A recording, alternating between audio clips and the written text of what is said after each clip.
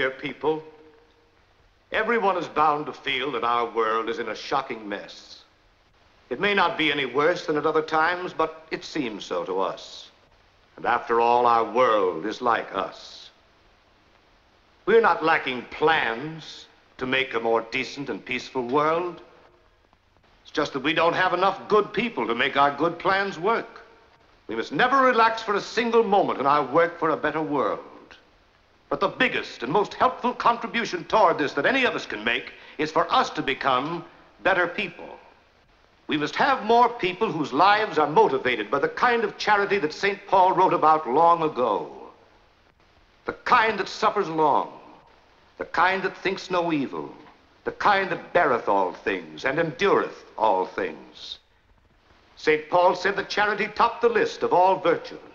Buddha, Mohammed, Confucius, Moses, and the Nazarene agree that the golden rule of doing for others as we would have them do unto us is fundamental in bringing peace and happiness to individuals and to our society.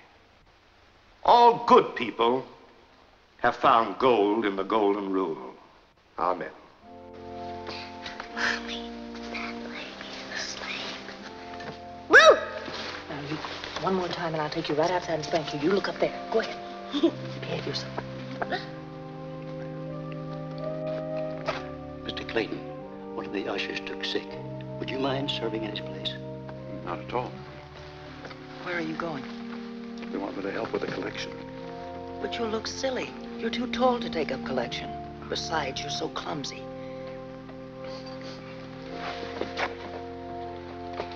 What? Where's Daddy going? He's going to help take up collection, dear. Where's Daddy going? He's gonna take up collection. Oh boy, this'll be good.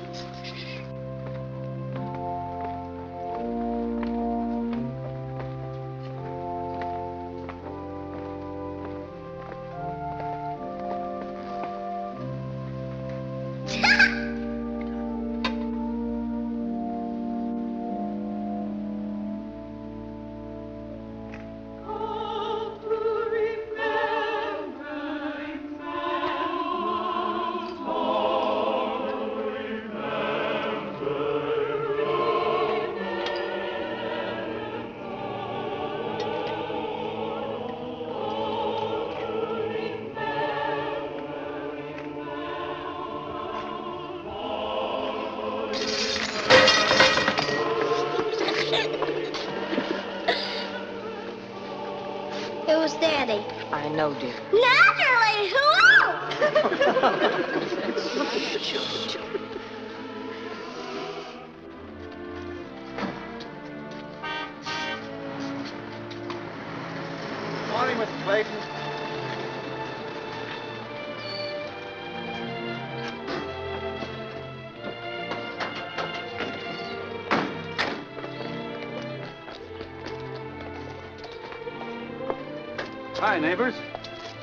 Snow? Nice day for it. Where are you going? No place. The car's broken down. Oh, that's too bad. I'm sorry, Mrs. Butler. And the children had their hearts set on this. I don't get another day off in weeks. Now I don't know what to do with all this food. Why don't you folks take it and go someplace and enjoy yourselves? No, thank you. Oh, you're welcome, Mrs. Clayton. I've got the answer. It's very simple. Take our car. Huh? Thank you, Mrs. Clayton. Oh, sure. Thanks, Mr. Clayton. Thanks. Let's. Give us a hand, Lou, with the stuff, huh? This is wonderful. Come on, children. Here we go. Oh, goodness, come on to the other car. See, isn't it great? They're tickled to death.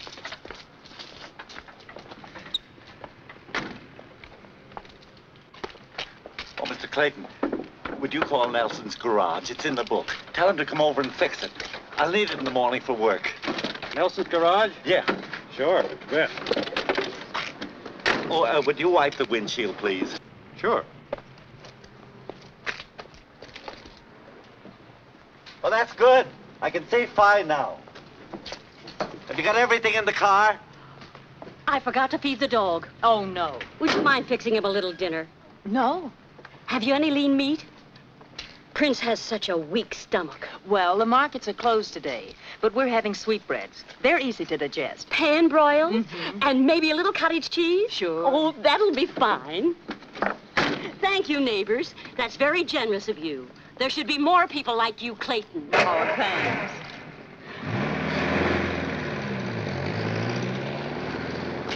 You know, there should be less people like the butlers.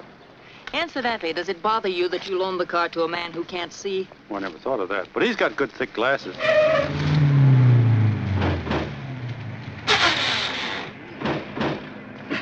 Well, maybe he's driving with his reading glasses.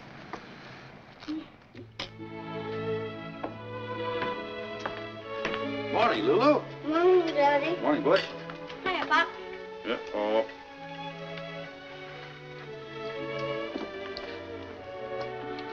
Who's back the Krispies? Crispy Crunchies again, hmm? You've been eating those for two weeks. Only 11 more packages and I get my Indian soup. Oh, and what does uh, Lulu get? She gets to see me in my Indian soup. And then you said you'd help me get a doll. Sure, after I get my football. Hugo found the best of it, Daddy. I eat everything and he just everything. Shouldn't talk with your mouth full. Say, Pop, isn't there something you can eat that can win Mom a new house? All right, you find out what it is, and I'll eat it.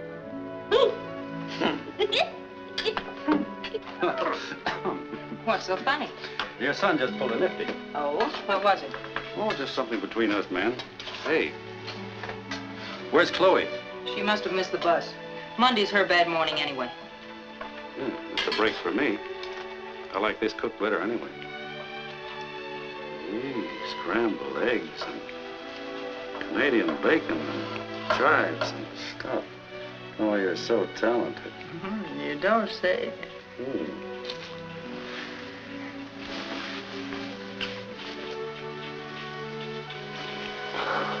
Please, Mr. Clayton. My brother will be down any minute. No, he won't. I called him and he just rolled over and played dead. No, he did, did he? Hmm. Uh, do you suppose he'd mind if we ate? Beg your pardon? Mommy, what are you and Daddy doing? Nothing! I'll be with you in a minute.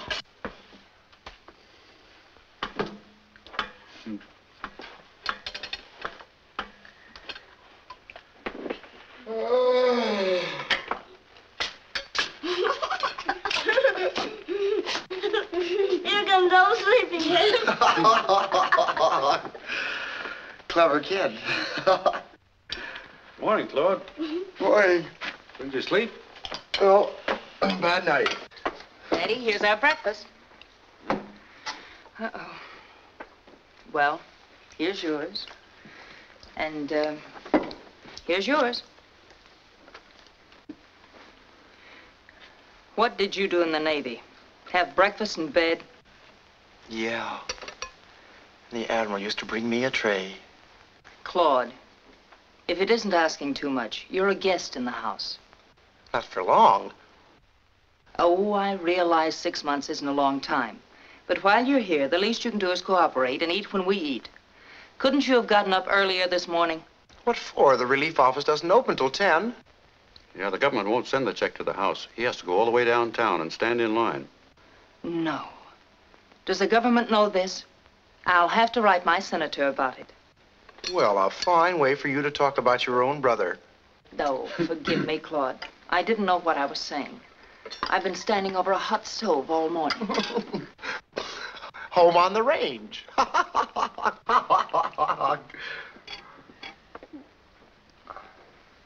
Uncle Claude, are you an idiot? Uh-huh. Somebody's been talking.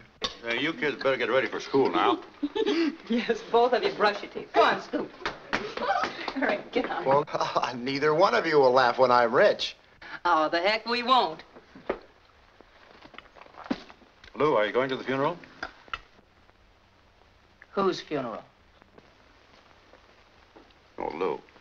Poor Harry Gilmore. Oh, I'm sorry to hear it. But I hardly knew Henry Gilmore. Harry. Was he the man who borrowed the $180 from the bank and you guaranteed payment? Yep, poor Harry. Did he leave the widow any, uh, No. Sick a long time.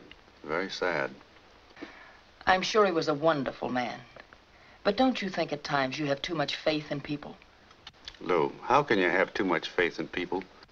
I know it sounds terrible, but people impose on you. You're a soft touch. You always said you could picture you and me by our own fireside. Well, $180 would build a pretty nice fireplace in the home we're never going to get. Look, Lou, I don't regret it. Harry Gilmore was a fine man. He happened to need some money, and I saw that he got it. Of course. Everybody thinks well of Harry Gilmore. Name one thing wrong with Harry Gilmore. His health. Hey, she's got something there. Say, can I have a cup of coffee before you two go broke? Say, who can that be? Claude, would you mind if... Mind? No, go ahead.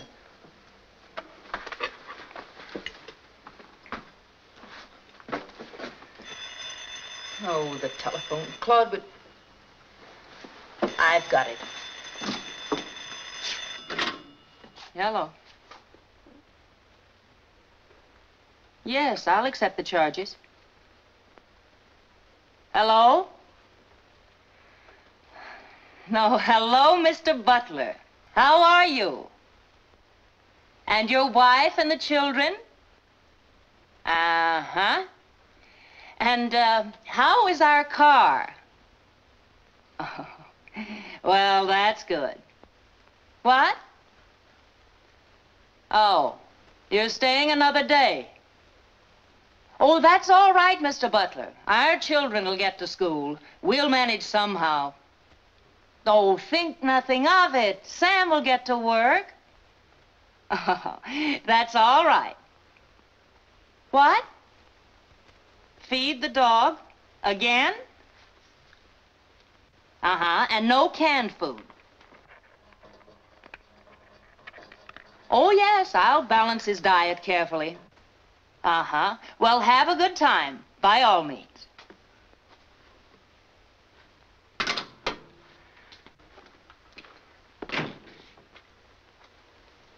Lou, this is Mr. Nelson, the garage man.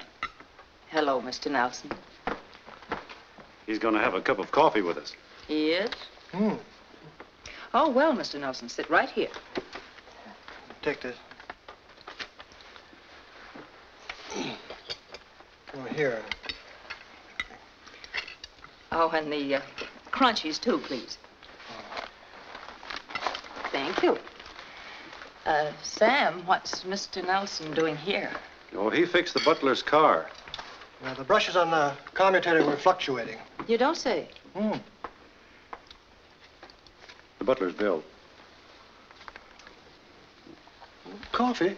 Oh, I'm sorry. Oh, yeah.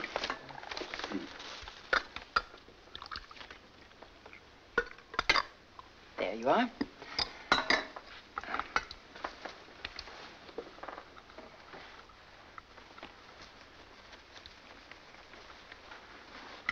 You see, Mrs. Clayton, I run my business on a cash basis. With me, cash is king. Why, if I trusted people, I'd starve to death. You'd be surprised how many people don't pay. No, no, I wouldn't. Oh, it'd amaze you the number of deadbeats there are in this world. Absolutely worthless, no good. Have you met my brother Claude? Oh, Glad to know you. Charm. Don't you think there's a lot in what I said? No, not much. Personally, I think there's two sides to everything, including my face, which I'm now going to shave. Oh, he's only my half-brother. Hmm. Well, that's nice. As I was telling Mr. Clayton, he's the one who called for my services, and he's the one who should pay. But it isn't our car. Why should he have to pay the bill? Oh, the butlers have been our neighbors for a long while. You can trust them. They'll pay you. Well, if you can trust them so much, you pay me and they can pay you, or I take the car back. Oh. Well, then I- I'll give you the money. Five, ten, fifteen. Oh, Sam, I forgot to tell you. The butlers phoned and said they're not bringing the car back. They decided to stay another day. The weather's so beautiful. Oh. Hmm. 16, 17. They did, huh? 18, 50, 75. Got any money, Lou? Well, no, I haven't. I was expecting some of that. Would you like to use the children's lunch money? Oh, Lou. Uh, that's near enough. Here. He said that was near enough. Well, we're uh, really in a fine fix now. The kids will have to walk to school, and I'll have to go with them. It's only six blocks. And six back. And how are you going to get to work? Unless you use the butler's car. Say, how about that? Well, I wouldn't think of using their car without asking them. No, you wouldn't. Well, I... Sir, you brew a mighty fine bean. Great coffee, sign of a great cook. She certainly is. She cooked me a wonderful breakfast. Sure smells good, especially on an empty stomach. Haven't you eaten yet? No. Lou. I've got it.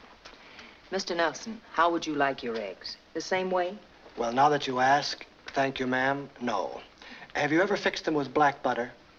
No. Well, you burn a little butter in a saucepan, and you put the vinegar in the eggs in a little casserole, and then you take...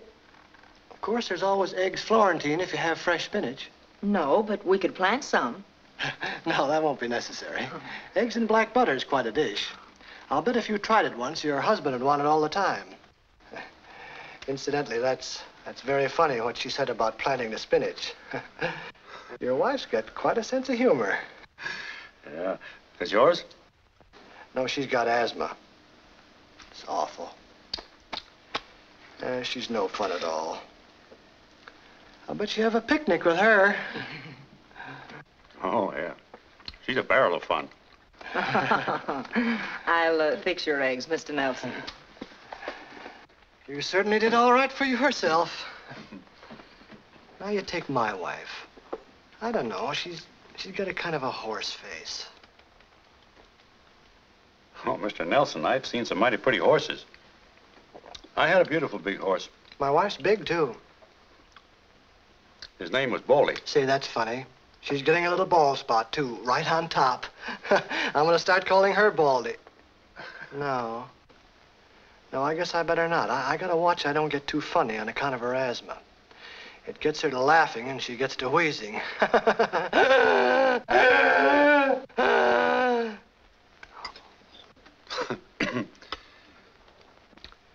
Sometimes she sounds like a whistle. Sometimes she sounded like a foghorn.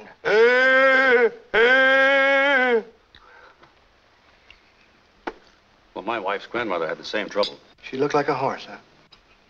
No, just, just asthma. Good morning, Miss Lou. Hello, Chloe. This is the bus waiting for streetcars. Oh, that man of mine. No good little casino. Did you have trouble getting him up this morning? Getting him up? No, he didn't come home at all, the little fool. He thinks he's found another Lena Horne. All she is is lean. What she got, I ain't got twice as much of.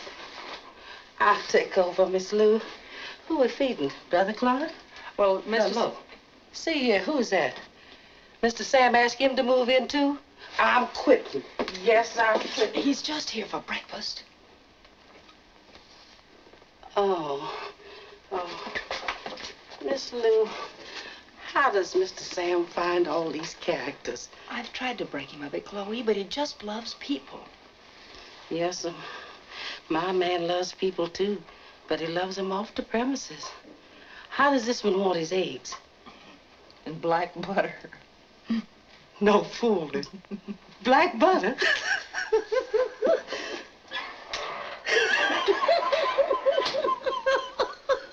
Black butter. I got to take another look at that specimen.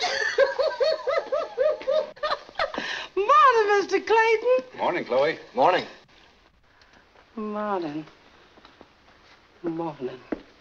And don't forget, take his eggs off in exactly 33 seconds.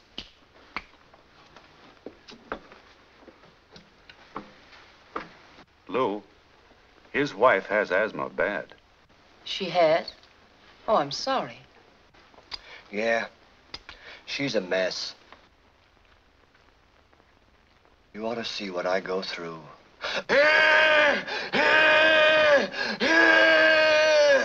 His wife has asthma. Is it contagious? Oh. Say, Lou, what are we going to do about his poor wife's asthma? Well, I don't know, Sam, but I'll work on it. I'll write to Johns Hopkins and buy a medical journal. No, no, Lou. I mean that goose grease remedy of your grandmother's. It helped Butch's croup a lot. Uh, couldn't you make up a little batch of it for Mrs. Nelson? Sam, that takes four hours. It's Monday. Chloe That's and all I right, have I to can go. come back later. No bother. Now, I've got a hunch it'll help her a lot. She can't go through life sounding like a foghorn. Oh, it'd be a blessing if you could cure her. All right, all right, I'm sold. Come on, kids. It's almost nine. Mother'll take you. Sam, you'd better get going, too. Well, I always say one good turn deserves another. I'd like to drop your children off at school and take you on to work. Well, thank you. Did you hear that, Lou? Mr. Nelson's going to drop us off in his car. Oh, that's very nice of you, Mr. Nelson. Yeah, bread upon the waters, I always say. Well, I'll be back for the goose grease. Goodbye, little mother. Around lunchtime? Uh, a little later, about three. All right.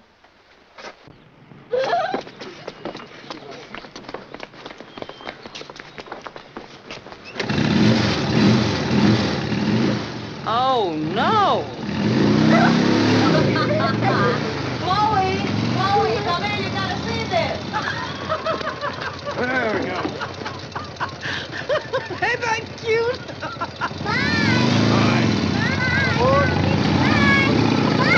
Be careful.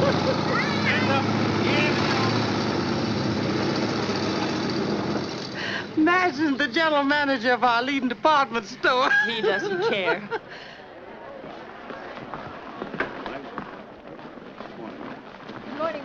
Good morning. Good morning. How are you? Well, Mrs. Kelly, hello. Say, how is that little um, baby of yours? Oh, he's just fine. Wonderful. Uh, do you remember her? Trinity? Yes. of course, we met at your baby's christening. That's right. Say, and uh, how many teeth does he have now? He has five. Three upper, two lower. Five teeth Yes. altogether? Three uppers and two lowers? Yes. Already? Hey, her ba- Oh, I beg your pardon. This is Mr. H.C. Borden, our president, Mrs. Kelly and Mrs. Finity. Oh, how do you do? I'm delighted to see you. How do you do, Miss Her baby has five teeth already, and he's not more than, what, eight? Eight, eight months Eight old. months old. And her boy will be graduating from military academy in June. Why, that's right, Mr. Clayton. Isn't that wonderful? Such a memory. And he's a great big fella, too. Why, he's that much taller than you are. well, well. Uh, what can I do for you? Oh, well, I'd like to see something in teething ring. Teething ring? You know. Oh, yes, uh, for the little fella? Yes. Why, of course. Upstairs, please, the third floor. And the first counter on the right as you come out of the elevator. Oh, Sam. After Miss Harrington. All right. Why didn't you escort them up personally? It's not every day we sell a teething ring. No. Now, Sam, this is our biggest season, so don't waste time guessing people's names and how many teeth the baby has. Well, we wait all year for Christmas. You can have the other 11 months, but give me that Yuletide season. you know, Sam, when sentiment runs high, that's the time to make the kill. So keep your eyes peeled for confused fathers and husbands. They'll buy anything, and it's our job to see that they get it. Excuse this is the me. time. Can you tell me where Humboldt Street is? 822 and a half Humboldt Street. This is near Claremont. Oh, there's a city directory over there by the phone booth, madam. You know, Sam, we can't milk Easter very much. Father's Day's all right for moving neckties, but Christmas? Ha ha. I'll have you know I broke my glasses, and it wouldn't do me any good to look it up in your old directory. Can I be of any help? Yes. I can see that your mother taught you manners. I'm an orphan myself. Uh, are you acquainted with our city? No, I just came in on the train. That's how I broke my glasses. I was in the dining car, and we hit a curb. There they went. Kersmash. Well, that's too bad. Well, it's about uh, 11 blocks from here. Let's see, this Oh. is Main. Go down Main, five blocks to Elm. Uh, one short block to the right will bring you to Sycamore. Oh, dear. Outside. That's too many streets. Well, maybe this will help you. Here we are. Right here, five blocks down Main to Elm. Now, be careful at this intersection. It's Yes, very I will. dangerous. Five blocks Yes, I ought to be able to get that. to Humboldt. Mhm. Now, uh, right about here is 822. And I'll find the half. I bet you will. oh, that's very nice of you. I can't get it with all this, really. I ought to have my head examined and. Uh... Goodbye. Sam, I want to talk to you. Up to now, you've sold a teething ring and drawn a map showing people how to get to Humboldt Street. Personally, I'd rather hear the cash register ring. Well, maybe they'll be back someday and make your cash register ring. Sam, you and I don't see eye to eye on anything. You told all the department heads they could take two hours off to go to Harry Gilmore's funeral. It's bad enough that I have to go. But he was your advertising manager for 30 years. I paid him for 30 years. If they want to make a big thing out of it, why don't they bury him at night? Then everybody could go in their own time. Hey, how about that? People are born at night, people die at night. They even play night baseball, don't they? But you just don't bury people at night. Well, you shouldn't bury him on my time, then. I beg your pardon. May I have a free sample of your new cold cream that you're advertising and demonstrating? There's your man. He'll direct you. You take the elevator. Thank you. Here I am again. What's the matter? Did you lose the map? No. I was just walking along and I got to thinking. Hello there. I was just telling one of your clerks here that I was walking along. Uh, this is Mr. H.C. Borden, our president. How do you do? Your president? He? Not.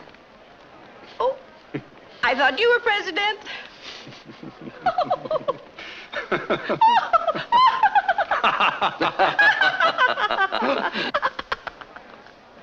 well, anyway, you were so sweet about telling me all those directions. I remembered something I needed, and I thought, why not buy it from that nice young man?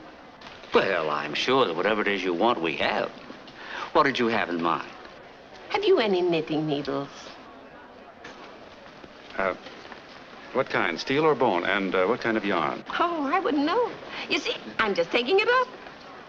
I have a granddaughter. Don't tell me you're a grandmother. Stop it, you fool. She's going to be married. She's going to marry the nicest young man. And I'm going to be alone a great deal from now on, so I thought I'd take up knitting. Well, uh, what do you intend to knit? A sock or uh, perhaps a hug-me-tight, huh? I had in mind a turtleneck sweater for a giraffe.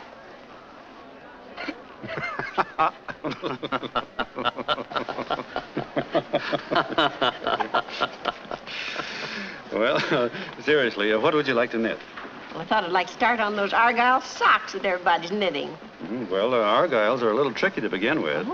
First, of course, you'll have to learn how to knit and purl. That's the basis. That's where you have to start. But uh, we give lessons. And they're free.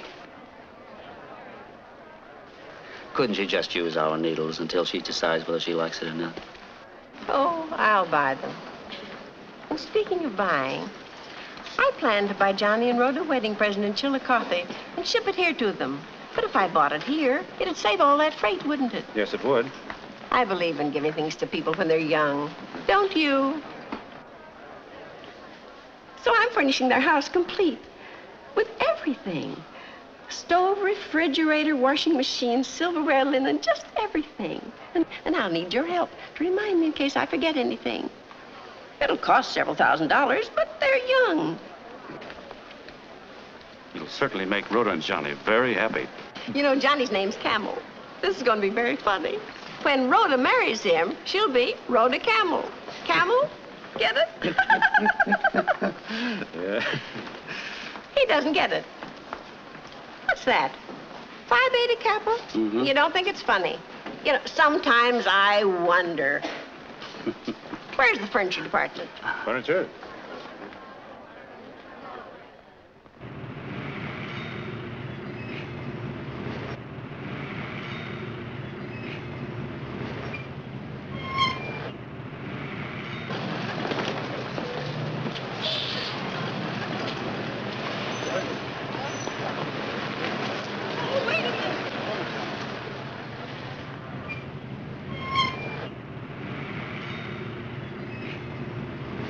Thank you so much. Oh, look. Haven't got all day, you know. I'm running on a schedule. You might run it with a little courtesy, too. You know, if it hadn't been for you, mister, He'd have waited until I got just in front of the bus and then run over me. Wouldn't have been a bad idea at that. What's all the hurry these days? Where's everybody going? Absolutely no consideration for anybody else. That's why it's a pleasure to meet a person like you.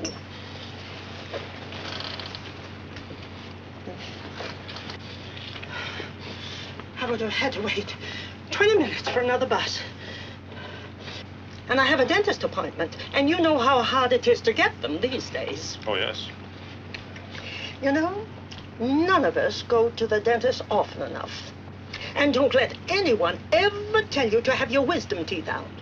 Because if I didn't have my wisdom teeth, he wouldn't have had anything to bridge to. Eh?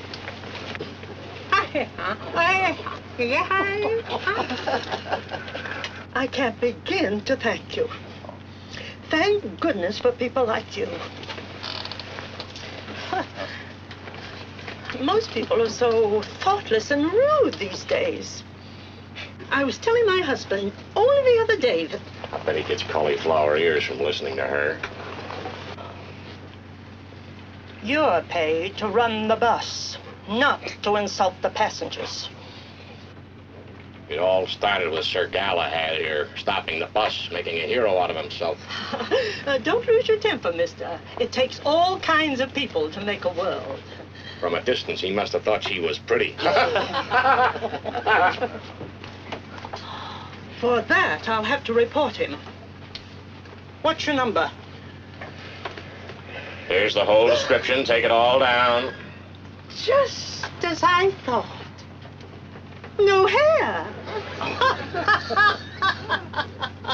I'm not surprised. Nothing could grow on a head like that. So you...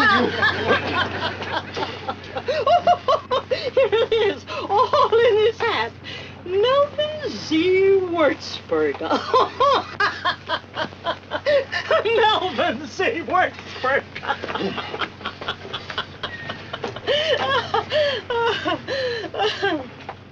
you know, it's really people like you, mister. Yes, you said that, That before. Will you restores- let me off at the next corner, please? Why don't you stick around, Bob? Maybe she'll bake you a cake. Why don't you shut that big, fresh face of yours? No.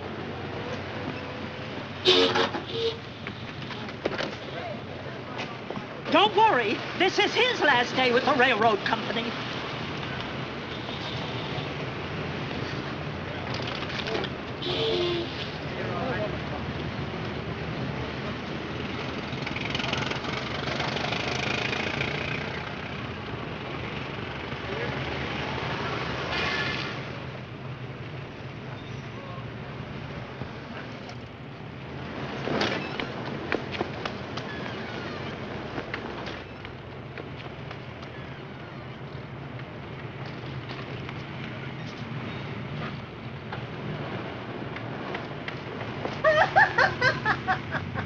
I'm sorry. What is that? I think she was running down there very fast. I thought she wanted to get in the bus. Oh, look, don't get... Melvin. Wurzburger.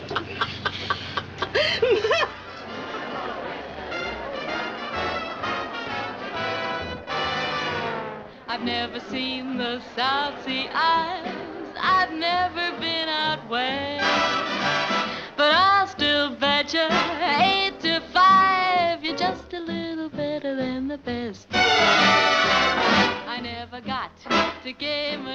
Morning, Rosie. Morning, Mr. Clayton. I like this department. But I'll still bet you eight to five you're just a little better than the rest. I'm not fretting about what I'm getting. I've had a hunch from the start. From your glances, I'll take my chances friends. I'm just a gambler at heart. Believe me, I'm just guessing, dear, when I compare you to the rest. But I'll still bet you eight to five that you're much, much, much, much better than the rest. It's the best, much, much better than the rest. It's the best. It's a wonderful number. Shirley May's feeling better. Worse. She seems to be jumping. Yeah, she's jumping all right. Her next jump will be off a bridge, mark my words. She's got those when I woke up this morning he was gone blues. I was out with them a half a dozen times, and he even told me he was going to marry her. The yellow so-and-so didn't have nerve enough to tell it to her himself. He wrote to the landlady, and she gave Shirley May the news with her eviction notice. That's rough. Yeah. I'd take her in myself, Mr. Clayton. You know that. But my husband, the kid, and myself are all in one room. It's pretty crowded, you know. You were at the wedding reception, remember? Gee, if she doesn't get a break, you're going to be reading about her in the newspapers. Number one on the hit parade in a month, I guarantee. Shirley May, can I speak to you? Ruth, will you take over for a minute?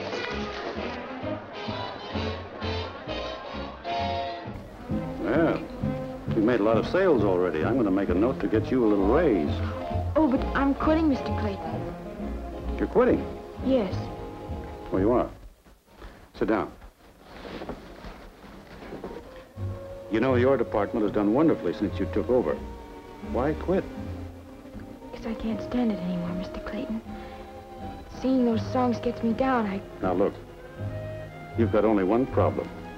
Where you're going to sleep tonight. Now, I'm going to give you the rest of the day off, and you're going out and try to find yourself a place to stay. And if you don't have any luck, give me a call, and I'll try to find you something. You're too young and too pretty, and Oh, sure. you're attractive enough to get a single man. Yeah. Put on a new face. Start a new life, huh?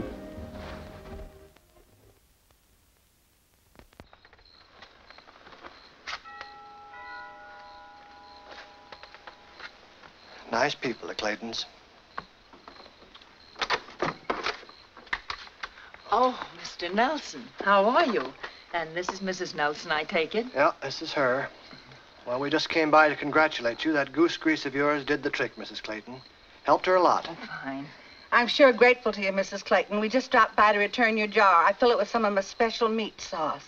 Oh, you shouldn't have done that. It's very nice of you. Well, thanks.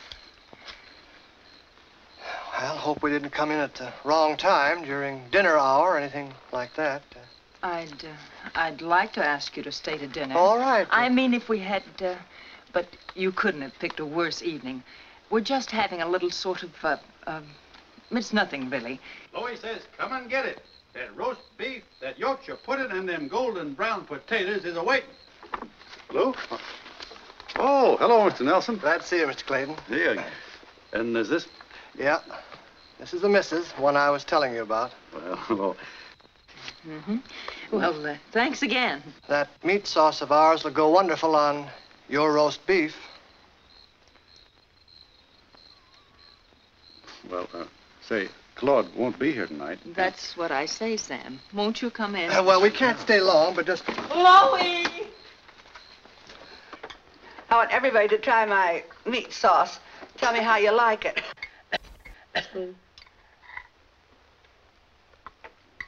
Oh, no. Here you are, Butch. Pass to you there. Is that the same jar the goose grease was in? Don't worry, little man. I scoured it thoroughly with soap and water. Mm-hmm. Quite agree. I can still taste the soap. Butch.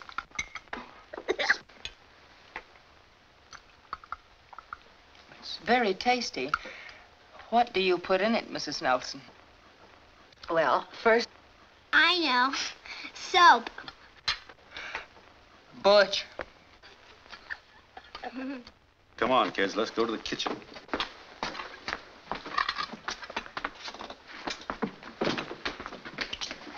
Vegetables, uh... Oh, sorry. They're going to have their dinner in here, Chloe. I thought so. Now, I want you two to finish your dinner without a peep out of either one of you. Chloe, you let me know if they don't behave, will you? Yes, sir. Oh, Sam, Mr. Nelson was just saying his wife sells real estate. Oh, Uh-huh. well, uh, uh, do you think this would be a good time to buy, Mrs. Nelson? Well, mark my words, prices won't be any lower in our time. What's the matter? Uh, would you be willing to trade this house in? We don't own it. You don't own your own home? A man in your position? Clayton. If the price was right, what type of a home would you be interested in?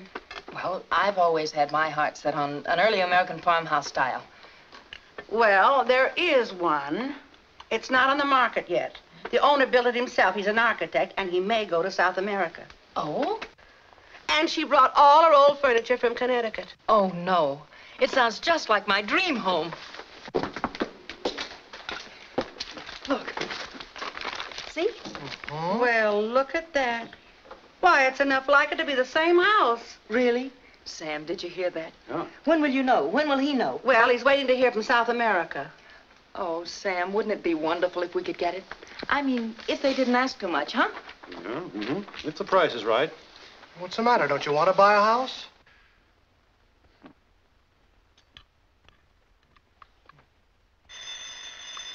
Oh, excuse me, I'll answer that.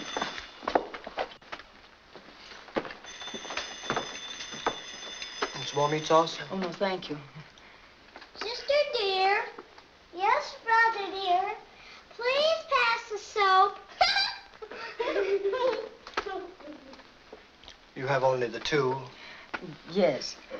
Uh, tell me, how many bedrooms are there in the house? Well, there's three bedrooms and a den that can be used for a spare. Oh, that's fine. We can use the extra room because of the children. Have you any?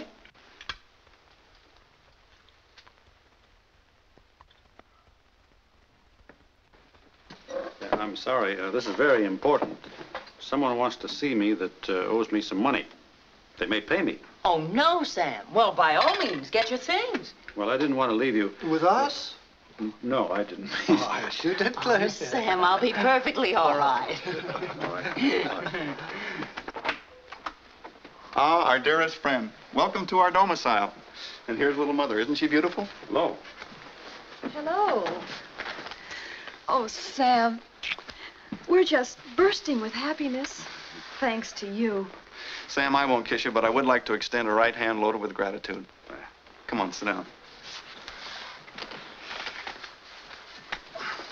Uh, we asked you over here because, well, we didn't know yet whether you'd told Lou anything about our loan. No, it's better this way. How's business? Oh, great, great. We got the busiest little gas station in the county, and things are getting better all the time. I'm going to build a little one-room and bath in the rear of the station. We're going to live there, too. You see, that way we'll be saving the rent on this thing. That is, if you think it's a good idea. I've got all the materials ordered. I can cancel it, though, if you don't think it's wise. Well, I think it's a good idea. So when do you think you'll be able to start paying me back? Well, the way business is going, I think I can start paying you next month. We should have it all paid off within six. Sam, I hope you feel all right about this thing because, well, sometimes we worry because you haven't told Lou. Oh, no. I, I think it'll be better to surprise her when you pay me. Much better.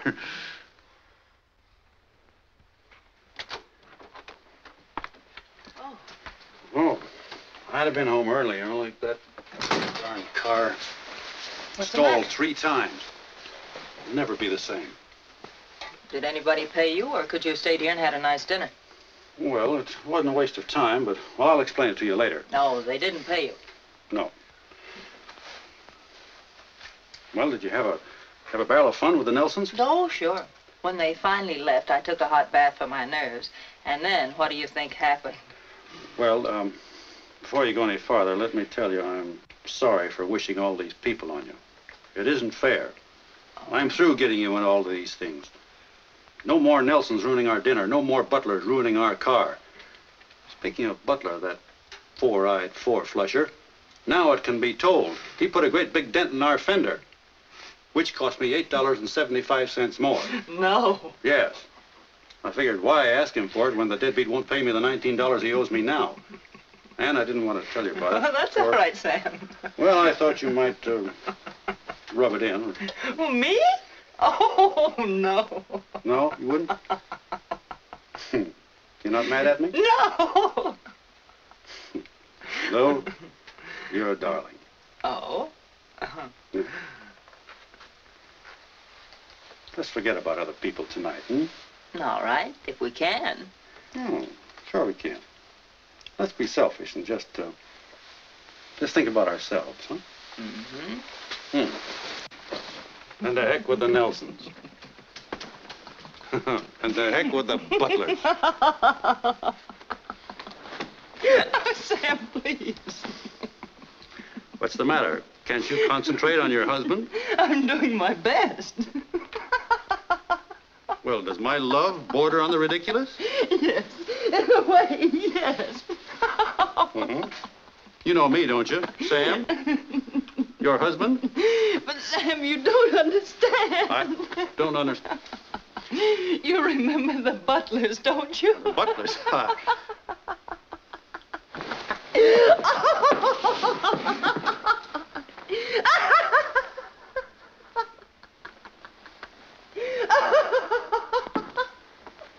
Good evening. Hello. Hello.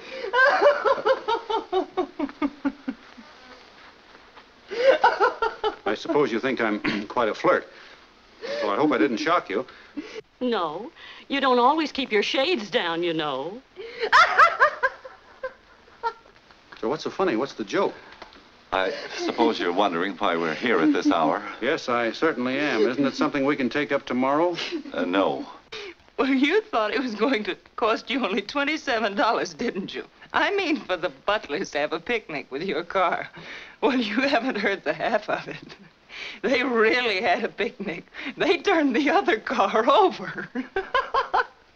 The other car? It was his fault. That's right.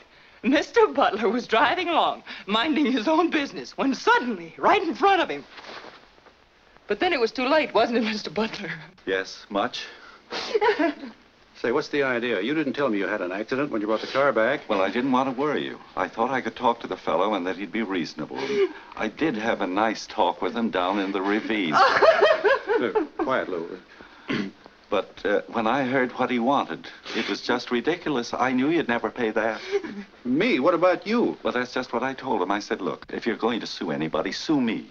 Don't sue a nice guy like Sam Clayton. It wasn't his fault, except uh, legally. It was your car. He said he looked me up, and I have a reputation for not paying my bills just because I haven't been working. I lost my job, incidentally. See, you tried to do us a favor, and he lost his job because of you. That's how life is. If you hadn't loaned us your car, your car, well, that's where it all started. Now, I'll tell you how it happened. This is fascinating. Oh, pardon me. Go ahead, Mr. Butler. You don't have to. It'll be in the complaint all written out, and I can read it. Uh, good night. Don't you want to go, too? Everything happens to us. Just when we were trying so hard to save some money, too. I know exactly how you feel. We've been trying to save money to buy a home, haven't we, dear? Sure have. It's the same with us. Someday we hope to get his eyes fixed. Never mind about my eyes. That's what they're going to say. They're going to try and give me that old eye test. But we'll fight this together. I can see as well as the next fellow. Yeah. Oh, thanks. Over there, dear. Oh, Over there. where will they put them next?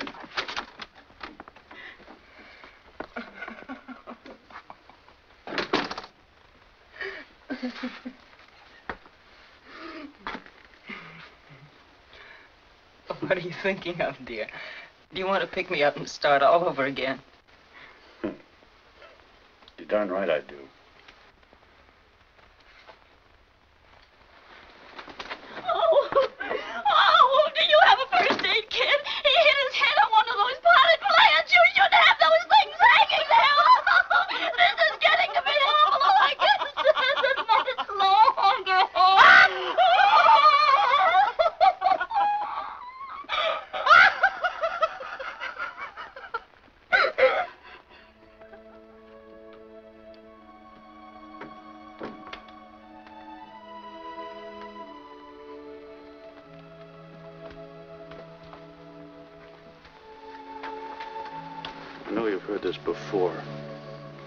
I'm sorry again. I. Yes, I know, dear. But now we have a lawsuit on our hands. Our home's farther away than ever. Damages, attorney's fees. If this keeps up, we won't be able to buy a tent. We just can't go on like this. Sam, when are you going to learn that there are some people in this world who don't deserve your help? Think of the people you've done things for since we've been married. Then think of how many have paid you back. Take Claude, for instance. He's sleeping in my bed, our bed, with you. Butch is in there on a cot, and I'm here with Lulu for how long? Sam, we have no life of our own. This isn't what my mother told me at all. Honey, we've tried every other arrangement. Except to throw my brother out. I, know he was badly wounded. And I try to make allowances for it. But Sam, he's got to move. Oh, I think Claude's got a lot of. Lead? I can't throw him out until he finds himself. But he's not even looking for himself. Oh, I know it's ungrateful to say that about a man who's done so much for his country. But if if he'd just go away somewhere, maybe he could find himself in South Africa. A lot of people find themselves there. I know, I know how you feel. I'm not too happy in there myself. Us, we three boys. Who could that be at this hour? Whoever it is, Sam, be firm. Not another nickel. Not another. Nickel. And if they reverse the charges, hang up.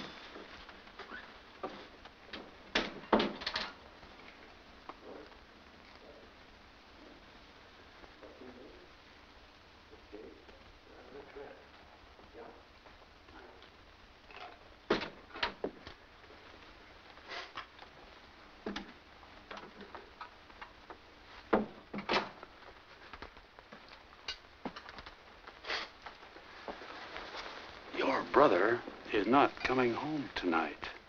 Can we depend on that? Yes. Uh-huh. He's going to Cincinnati. No. Yes, for ten days. Oh, goody. Maybe he'll find himself there. Yeah. What's he going to do? Well, there's a big music festival. Everybody's coming from miles around. Not my brother. What's he going to do? Shoot pool. That's more like it. There's a big tournament. He's pretty good, you know. Hmm, so I hear. I think pool's very nice, don't you? Yeah, pool's a very interesting game. It's a very old game. And I think it was very nice of Claude to call and let us know, don't you think? Daddy. Yes? Mommy.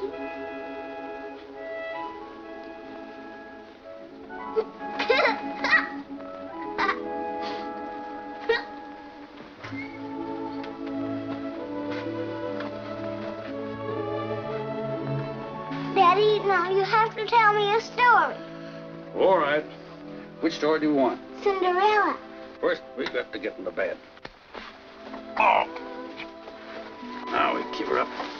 There. Now, once upon a time, there was a little girl named Cinderella. And she had two wicked sisters. And didn't she have a wicked aunt, too? Oh, yes, she used to make Cinderella work from morning until dark. Well, anyway, along came a fairy godmother and changed little Cinderella into a beautiful princess. What about the mice, Daddy? What mice? Uh, uh, the fairy godmother has some mice. Oh, she did? Oh, yes, that's, And she, uh, and she turned the mice into six beautiful white horses. that's right. Mm hmm So Cinderella, Cinderella went out to the garden and brought in a great big pumpkin and, and um, gave it to the horses. No! No? And she gave it to the fairy godmother. And the fairy godmother skinned it and turned it into a six, I mean, a carriage.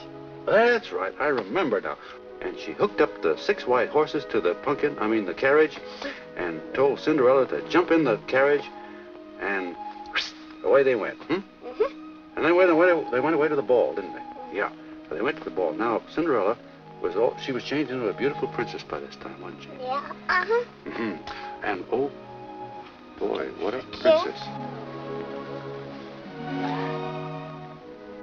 Where was I? Oh, yeah. Oh, well, the beautiful princess. Oh, she was so beautiful. She, she, oh gosh. Uh, what a beautiful princess. Oh, yeah, and she lost her shoe.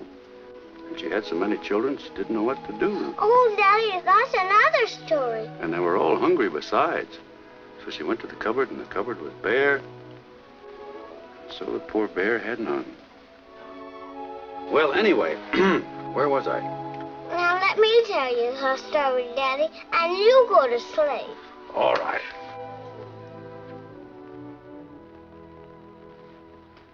So Cinderella waited and waited for days and days.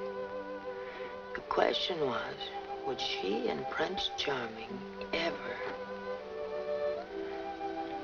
get together? And suddenly, the door opened, and there he stood, the prince himself.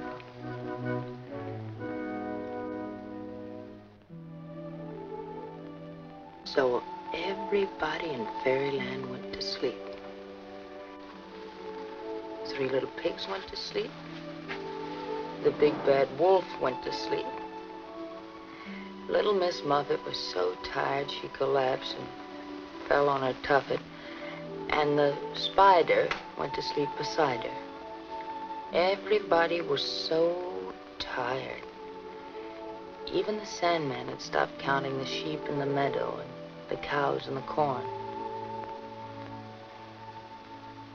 Everybody's asleep but us. Just you and me.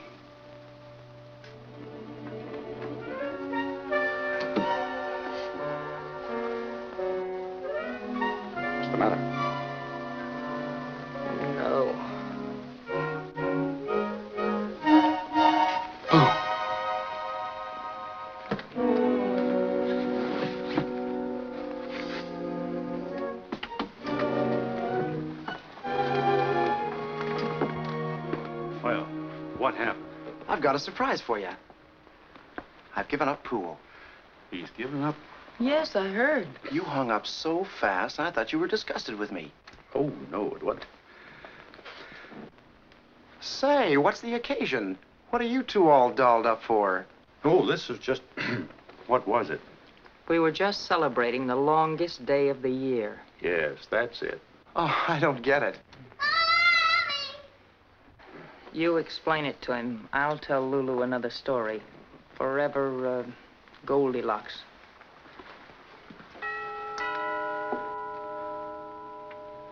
I'll get it, Sam.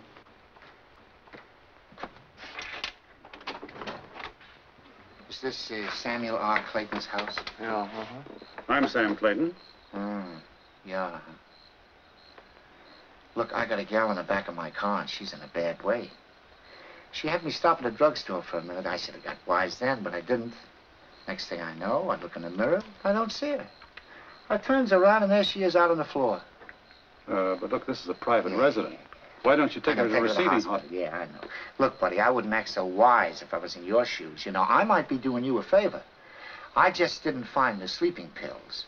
I found your card, Samuel R. Clayton. Oh, I know who it is. Shirley May.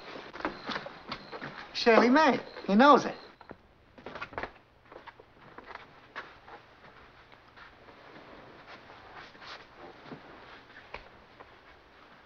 Sam, you've got to keep a level head. Lou is right in there. Oh, be quiet. Go call Dr. Brown. Orange 3621.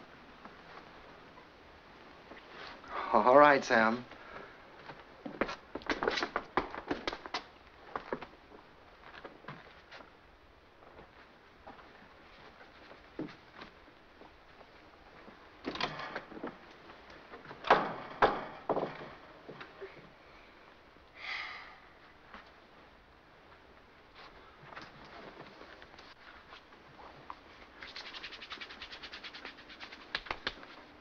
Right, Lou. She works at the store.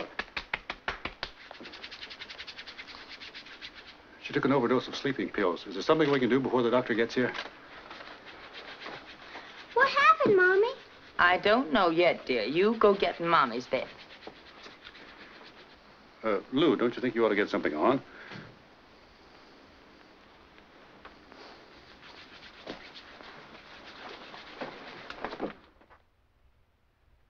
Is it, Lou? What's so serious? What is it?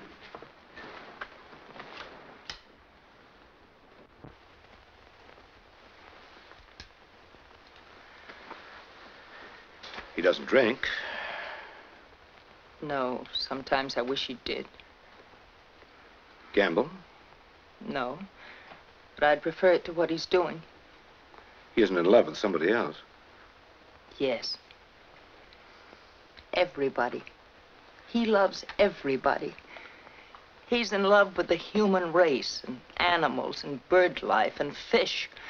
Why, he wouldn't even swat a fly, nor any of those those leeches who cling to him. He just can't help helping people. And that's bad? Well, how does that affect your life? What life? Oh. You say marriage is a case of give and take. Well, he gives everything away, and I just have to take it. He's so sorry for people. He's his brother's keeper, and he's got too many brothers. He started with my brother, and he's built up from there. He wants a house by the side of the road to be a friend of mine. And I do the cooking. Oh, don't look at me like that. I know I sound like an idiot. I know how I feel, but when I say it, it, it just doesn't come out right. It sounds selfish, but there are other words like wanting and wishing and yearning and needing. Lou, let's get one thing straight.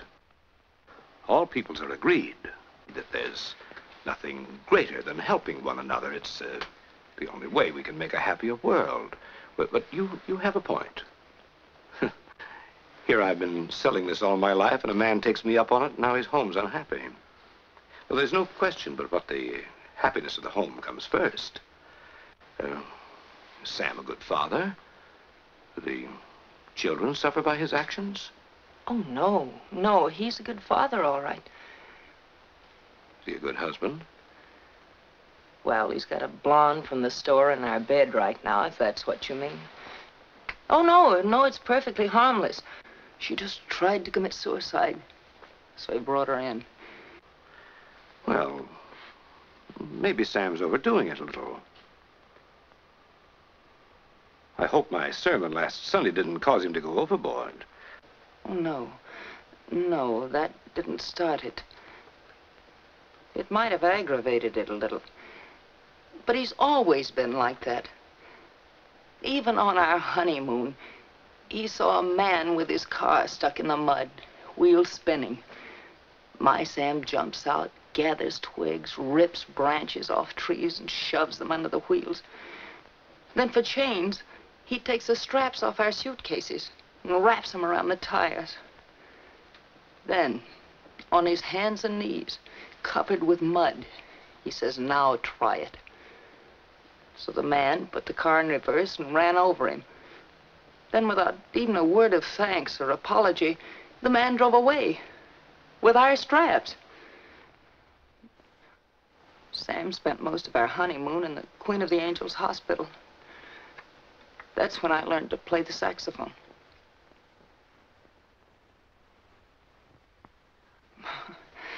Now, you'd think that would be a lesson to him about helping his fellow man. But no. Lou, you still love the big guy. Give him another chance. I'll talk to him. Uh, well, I don't know exactly how to put it to him. I, I don't want to tell him to uh, disregard everything that I stand for. I, well, I, I'm not sure just yet how I'll tell him, but uh, I'll look up something on moderation. Well, that, that might help. What's the best way to see him? How can I uh, meet him uh, accidentally, huh? Well, you could run into him casually at the athletic club. He takes the workout on his lunch hour. If he hasn't given his trunks away. yeah.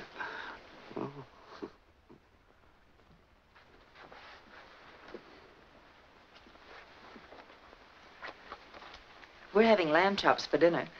What'd you have for lunch? Oh, uh, salad. I make a marvelous salad at the club. And a glass of tomato juice. Did you uh, eat alone? No, with the Reverend Daniels. I asked him what he was doing at the club, and he said a little exercise wouldn't hurt anybody. He did. You know, there's a man with a brilliant mind. Yeah? People just don't appreciate his wisdom. More people should listen to his sound advice. Well, if you ask me, I think he's a little mixed up. I think he's having trouble with his wife. He is. He is? Mm-hmm. It's got him so upset, I think it's affecting his health. So the poor man's going to start going to the club and exercise and try to get back into shape. Oh. Well, what did he say to you? Well, he didn't say much of anything. I did most of the talking. Oh. He seemed so uh, troubled and unable to express himself. I think it's serious, Lou. You should have seen the look on his face when I suggested that uh, maybe you should go over and have a little talk with his wife and try to straighten her out. Yeah. I, I said to him that uh, you'd gone through a few things, and with me in a small way, but you were so level-headed. I knew something was wrong when he said, our wives' happiness is the all-important consideration. He said, we must give up whatever is necessary to achieve that. And you had an answer for that? No. I asked him a question. Oh. How much does a wife expect a man to give up? Should he ask her every time before he makes a decision? How much of his own judgment should he rely on? And how often should he run to her? If he ran to her all the time, she wouldn't want him because he had no judgment. I mean, if he's going to drop a dime into a beggar's hat, does he have to run to the telephone first and spend a nickel of it to ask her permission? That's silly. I should say. My point is, if he's going to keep giving things up, why doesn't he give up his self-respect and just give up? She knew what he was before she married him. She knew what she was getting into, didn't she? Poor Mrs. Daniels.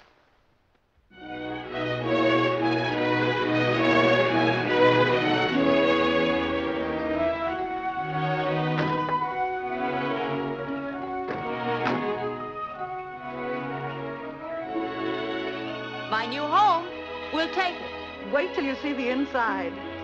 Come on, Sam. Isn't it beautiful? And look at that view. Sam, ask Mrs. Nelson how much it is. And don't quibble. You won't have any trouble with it.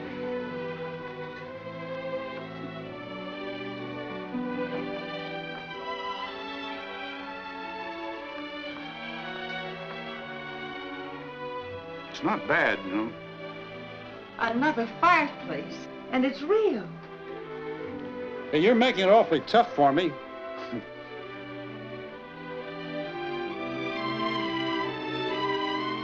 Oh. Oh, I've never seen anything like it. Have you? Great.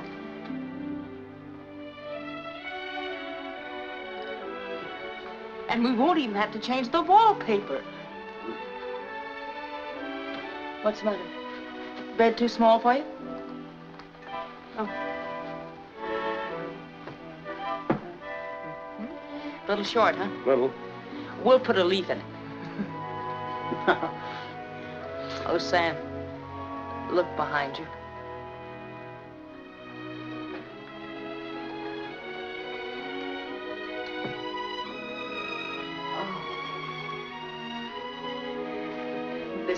Paradise.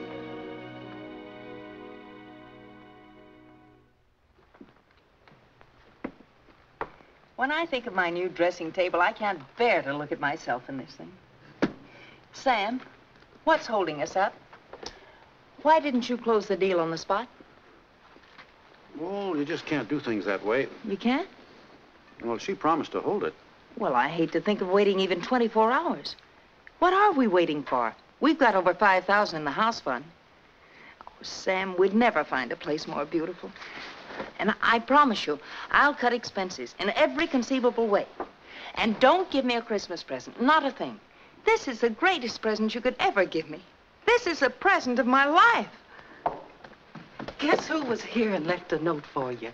Mr. and Mrs. Adams. That lovely little couple used to live next door. Oh. I miss her. How time flies. You know, they've been gone about eight months now, and she's big as I am. If it's a boy, they gonna call it Samuel. And if it's a girl, Lucille. They couldn't wait. That's the reason why they left you that note. Thank you, Cora. You're welcome. Is it confidential, Sam, or is it money? Thirty-nine dollars and fifty cents. What are they sending you money for? Well,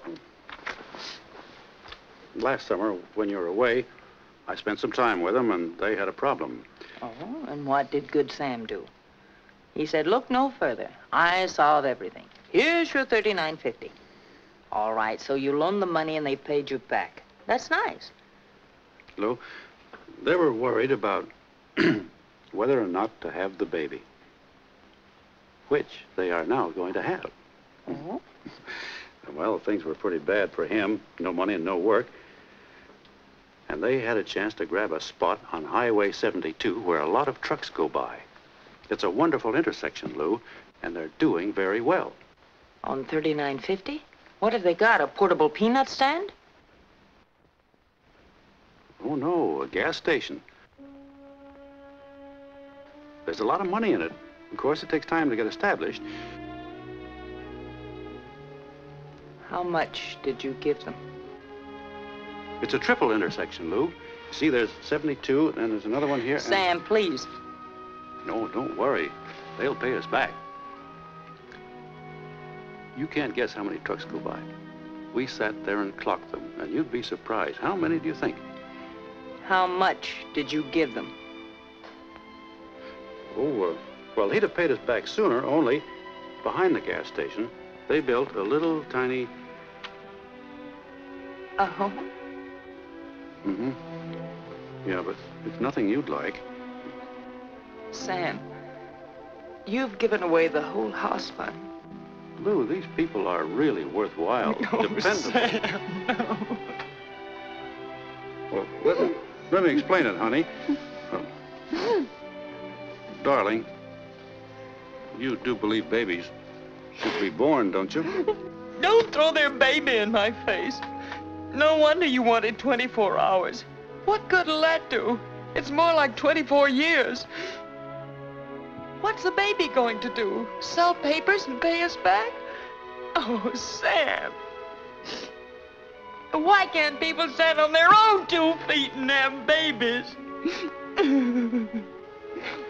Well, I, I know it seems wrong not to have discussed it with you first, but this was an emergency, and you were down in the country with your mother. Before telephones, huh? Well, the bank wouldn't give it to him because, well, he had no credit, and, well, I thought he'd paid me back before, only... Before well, I found out. I'm fed up with your helping people behind my back. You're nothing but a double-crossing, two-faced, sneaking Samaritan. Lou, they're good hmm. people, and they were desperate. Oh, shut up. Go away and leave me alone. Well, you'll feel different after she had the baby. So will she.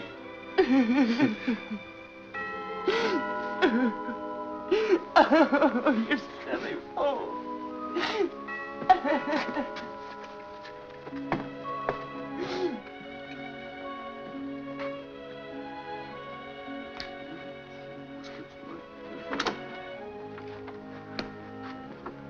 Well, this is a pleasant surprise. Well, I thought I'd drop by and see how the Claytons were getting along this fine Sunday afternoon.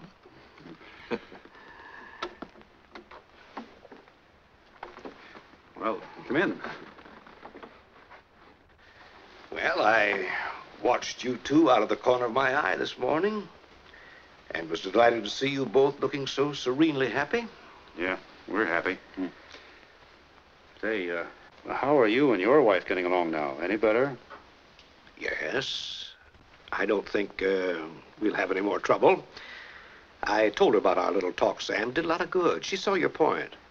I told her what you said about dropping the dime in the baker's hat. Made her laugh. well, that's fine. Then there'll be no need for Lou uh, straightening her out now. No, no, I don't think that'll be necessary. Uh, we uh, both arrived at the realization that so many domestic squabbles are silly. Each has to give a little and uh, see the other's viewpoint. A simple discussion of the problem and it blows away like... Uh... Boulder Dam, huh? Reverend Daniels, do you believe in women having babies? Uh-huh. Well, I don't know who else, uh... Well, under the right circumstances, yes. Well, that's what I thought. So I loaned the couple next door some money. You soft-hearted sap. well, you, you public benefactor, you... Ah. Hello, Reverend Daniels. Hello. It's always a pleasure to see you. Well, I um, just stopped by on behalf of a very worthy cause. Uh, something that Sam and I, um, and he, he thought that you would be interested too. It's, um, uh, uh, Or something that slips your mind at the moment? Bundles for midgets, maybe? no, no.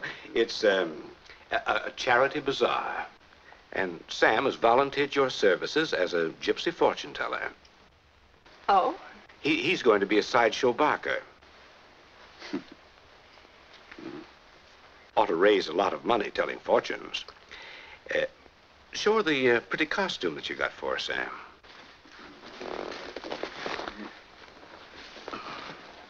No, you show Oh, her. no, go ahead. No, he... Me?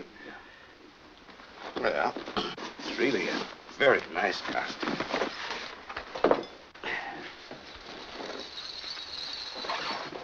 There. There, isn't that a pretty costume? You'll be perfect as a gypsy. Yeah, gypsies have no home, have they?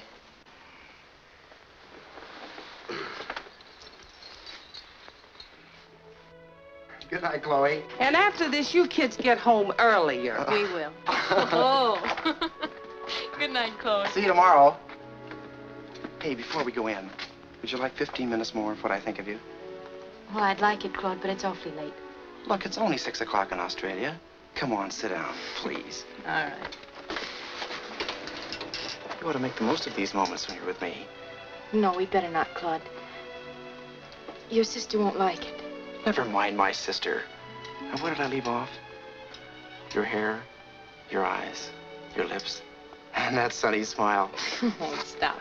Did I say I'd walk a million miles for one of those smiles? Did I say I'd climb the highest mountain? mm, and swim someplace, too. And I've got you under my skin? Mm-hmm. And, uh... Are you impressed?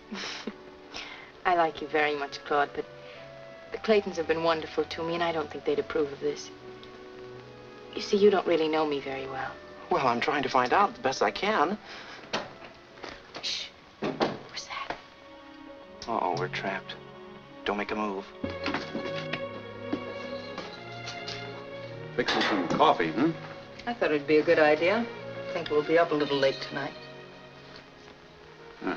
You didn't say a word on the way home. I thought you were having a good time. You danced a lot with H.C. You're doing all right, too. Sam, HC's offered me my old job back. He wants me to go to Europe in the spring on a buying trip. That is, of course, with your approval. It'd be a golden opportunity to put some money away, and I'll only be gone three or four months. Mm-hmm. You can forget it. So that's your attitude. You're darn right it is. Well, I don't understand why you mind. You hardly ever see me anyway. If I go, you could do as you please. Maybe I'm holding you back. Think of how many more organizations you could join. If I take this job, I get a complete wardrobe furnished, unlimited expense account, and a fine salary. I'm going to Europe. Well, I don't blame you for feeling that way, but I don't want you working. Oh, you don't, huh? No. I suppose it's all right to go ahead with the salary you earn and give away, but Sam, if we're ever going to have a home... I know how much the house meant to you. No, it's not just the house, it's, it's everything. All these problems you've brought into my life. Uh, I'm losing my mind. They'll be dropping a net on me. Problems? What, for instance? Problems? What, for instance? Well, Shirley Mae, for instance. You brought this this department store Magdalene into our house, and how does she repay our kindness? By trying to put her hooks into my brother. Oh, I'll admit Claude's no angel. But I can assure you I'm not going to stand aside and see him wind up with that alley cat. My mother would turn over in her grave. She would, huh? Yes. And any girl who tries to commit suicide because a married man gets tired of paying her expenses and tosses her out on her ear is hardly the catch of the season, even for my brother. Listen, I know your brother better than you do. He might be better off with a couple of hooks in him. Oh. She marrying him is like her jumping out of the frying pan into your family. Don't change the subject. Are you going to ask her to get out, or am I? Uh,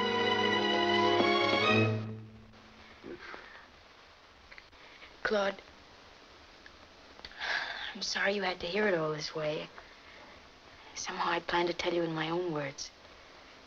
A little differently. I probably would have let myself down a lot easier.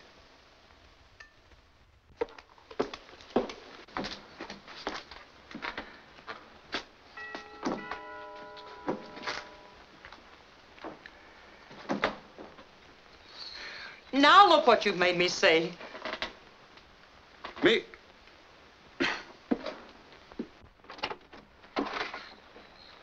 Good evening. Hello there. We're Mr. and Mrs. Adams. Used to be next door neighbors. Well, won't you come in? Thank you. You heard what the man said. Come on, little mother. Take it easy now. Take it easy. We're old friends of the Claytons, and we're a little high. Mm-mm, not me. He's been drinking my drinks, too. You may not know it, but Sam Clayton is the dearest friend I've got. You know, if it weren't for Sam, my wife wouldn't be having a baby. Ah, here they are. I give you our dearest friends and benefactors. Two hearts of gold in three-quarter time. Come on, little gypsy. Da, da, da, da, da, da, da, da, da, da. Don't you like the waltz? What have we got to waltz about? We're celebrating, Mrs. Clayton. We've had a few drinks. Uh-uh. I mean, I've had the drinks. What have you been drinking? Gasoline? Wouldn't they buy it?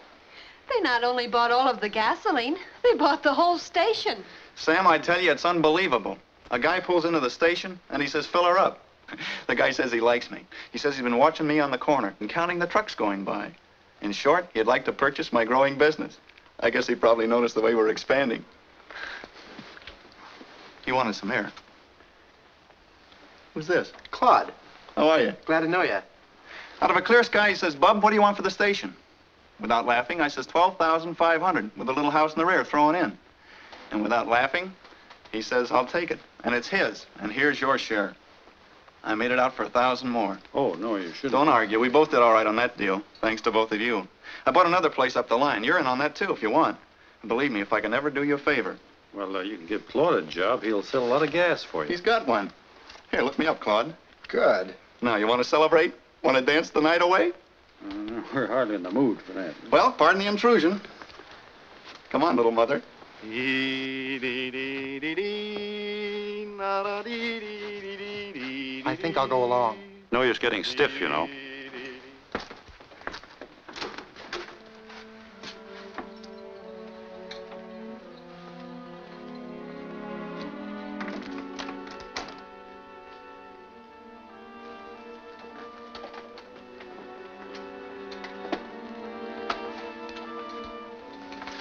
Lou, somebody paid us back.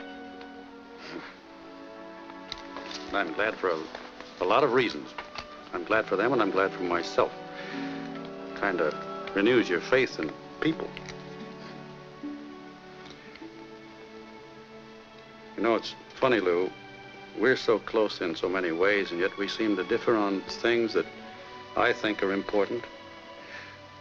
I wish we could get together on what is really valuable in life. I find happiness in different things than you do. I guess I did go overboard in helping them and not thinking about you and your home. And I realize both are important.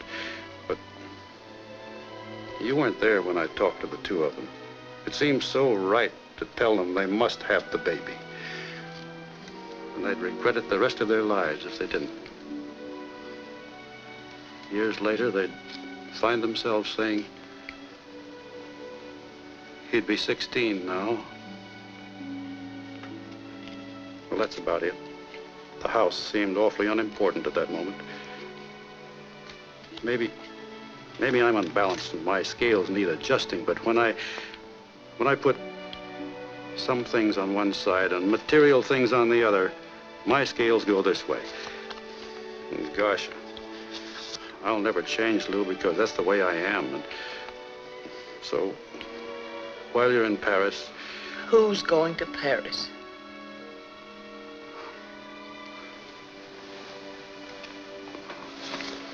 Well, thanks again for everything.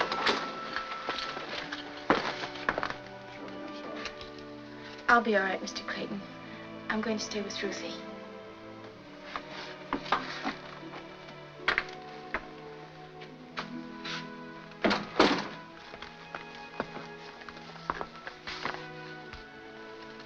Made a profit on people. Now we can buy the house and maybe live happily ever after. hmm?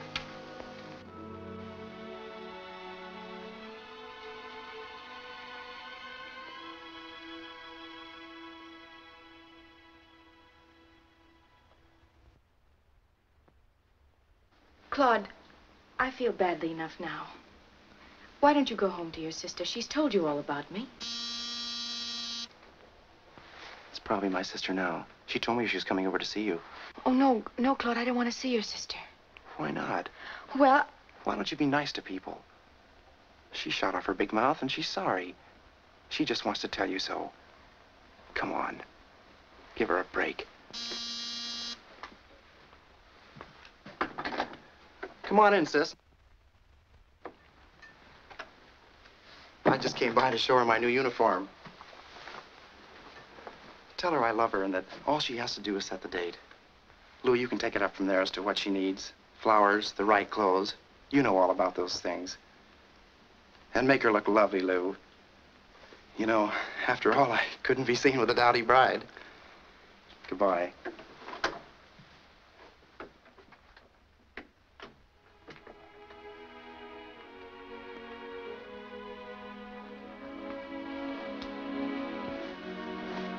Down?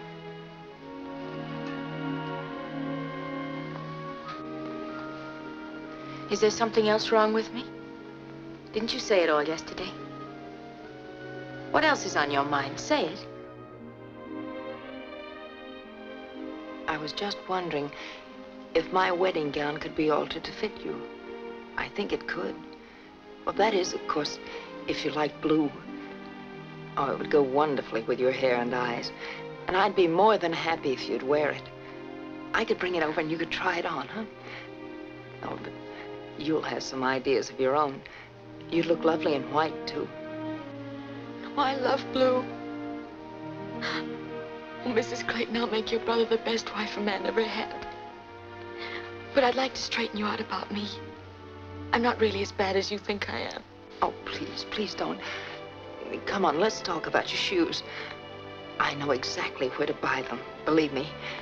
And, oh, oh yes, the hat. I love your brother so much.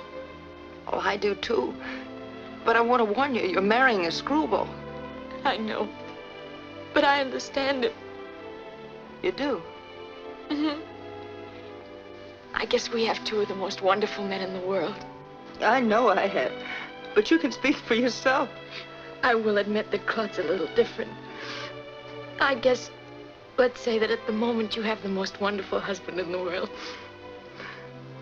Did you see the morning paper? No. Look.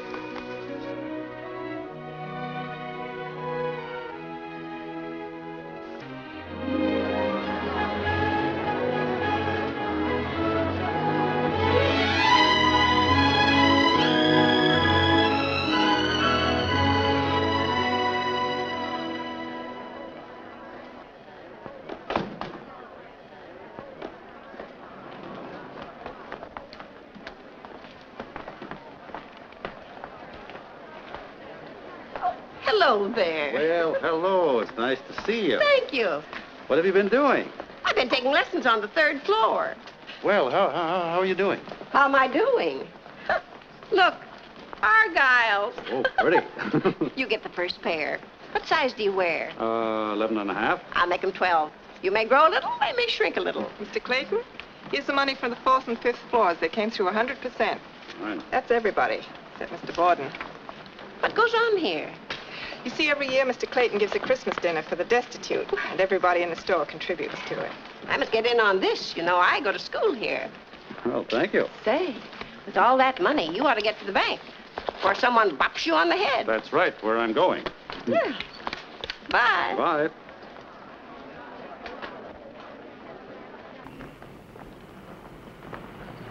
Hello, Mr. Clayton. Joe, sorry to keep you waiting. It's all right. Where are the turkeys? Over in the truck.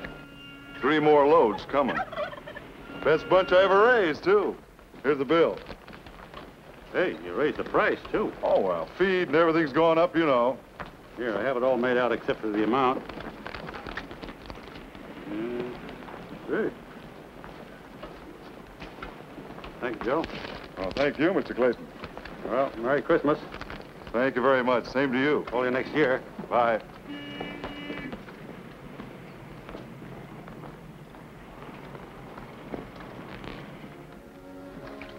Here, more ice.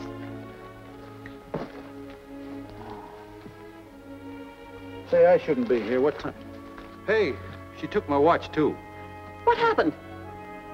Oh, all I know is somebody hit me on the head from behind. How'd she get you up here anyway?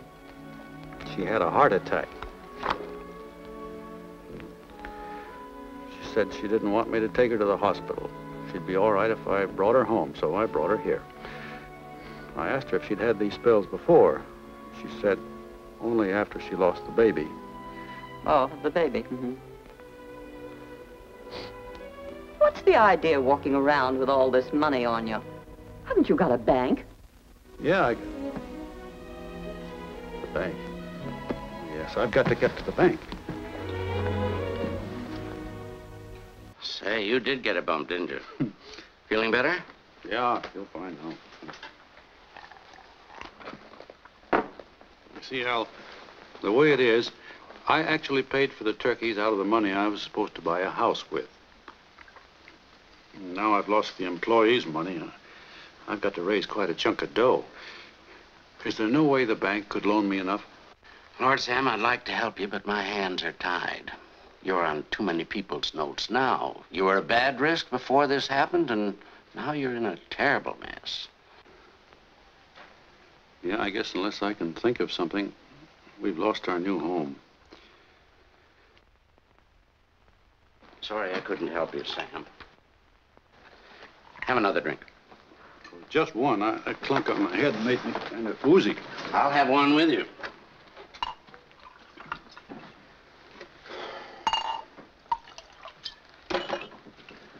Well, Sam, here's hoping that somehow you have a very Merry Christmas.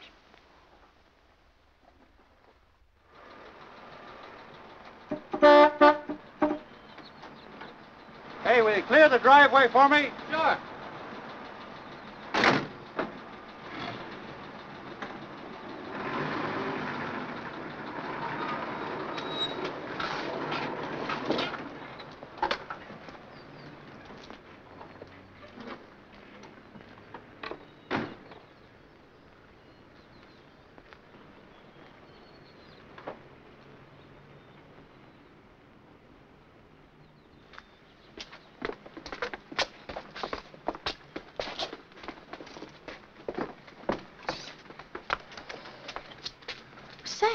Why home so early?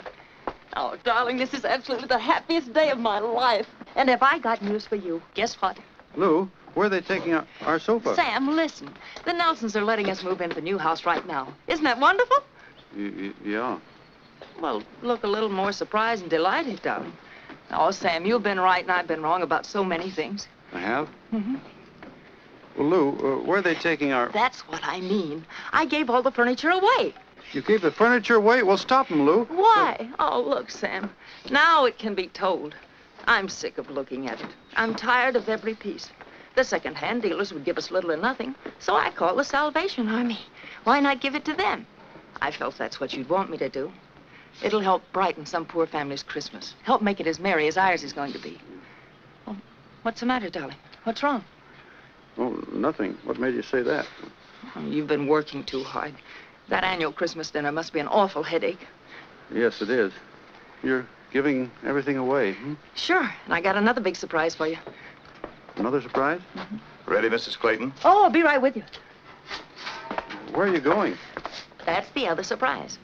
We're going to have dinner tonight in our own new home. Chloe's out buying everything. And it will consist of all your favorite dishes, including me. Oh, and don't come home till 6.30. I want everything to be just right. And to give you a rough idea, dinner starts with a surprise, flown in at great expense. Goodbye. See you in paradise.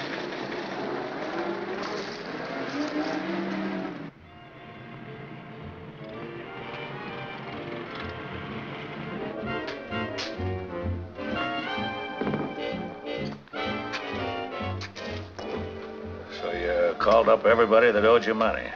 Yeah. They wouldn't give you a dime, huh? No. Well, they'll do it every time. Everybody I asked said I couldn't have picked a worse time. Glad to pay you, Sam, but not now. Just when I need it. Love to pay you, Sam, but you know what doctor's bills are. Just got on my feet when I broke my leg. Sorry, Sam, but three boys in the hospital. No, three boys in the college. My mother-in-law in a tent. Oh, oxygen tent. Oh. But don't you worry, you'll get it if it's the last thing I ever do. But not right now. Not right now. Can you wait till April? Yes, some April. Yeah. People are all alike, Sam. I know what you mean. I wish I could help you, but I had a bookmaker in here taking bets, and it was only last month that he ran away with all the cash I had. Must have been quite a blow to your wife. No, she ran with him. Maybe I should buy you a drink. Well, I could stand one right now, thanks. Miss Clayton, you look gorgeous. yes, and I hope Mr. Clayton will forget what it costs when he sees me in it. He will. Mommy, when will Daddy come home? Any minute now, dear. We're hungry, Mommy. Oh, will you come on show Mommy what you're going to do when Daddy gets home? Come on, Chloe. All right, fine. Backstage, everybody. Be sure and start together now. Remember your finish? Yes, ma'am. All right. Now here comes Daddy. Good evening, Daddy dear. We're glad you're here. So nice to welcome you. All of us and Chloe want to show you we're glad to see you. And now you'll be so glad to hear we have some happy news for you. Now that we have a better home, we'll all be better too. We'd better be better. Hmm? I didn't say anything. Pardon me. Sorry. You know, you know what Confucius said about helping people? Yeah, he, he said so many things. He's got me all mixed up. Well, he said... Confucius fills me with confusion.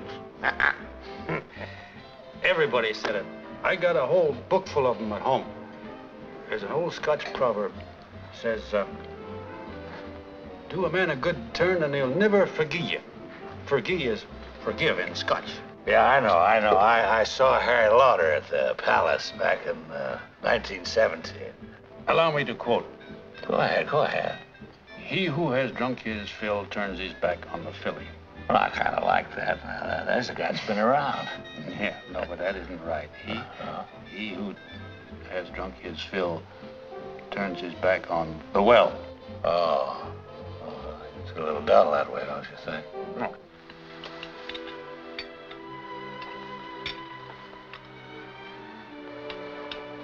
Well, maybe he worked late at the store, Lou. Why didn't he telephone then? Did Daddy know we were going to have black raspberry ice cream? No, dear. We were going to surprise him. Do you think something happened to him, Mommy? Oh, no. No, your daddy's all right. Maybe he isn't.